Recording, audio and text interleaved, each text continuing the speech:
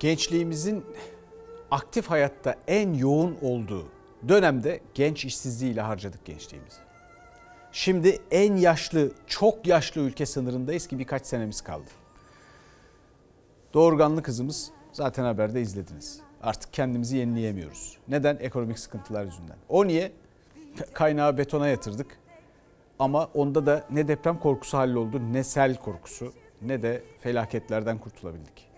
Başka ormanlar 252 milyon fidan dikilecek deniyor orman yangınları için filan. Ya şunu anlamak lazım artık. Dikme fidandan, dikme ağaçtan orman olmaz. Biz doğal ormanlarımızı yollara, elektrik hatlarına, efendim bu rüzgar santrallerine hesapsızca harcıyoruz. Sonra diktiğimiz ağaçlarla orman varlığımız arttı diyoruz. Artmadı. Dikme ağaçtan orman olmaz çünkü. 6831 sayılı mevzuatın değişmesi lazım. Makiliklerin artık bir şekilde ormana kazandırılması lazım filan. Sonra sonrası bizim süremiz bitti. Sonrasını önümüzdeki hafta konuşuruz artık. Efendim bizden bu haftalık bu kadar. Hafta sonu Gülbin Tosun'a kolay gelsin diyelim. Ee, iyi hafta sonları dileyelim. Sağlıcakla kalın.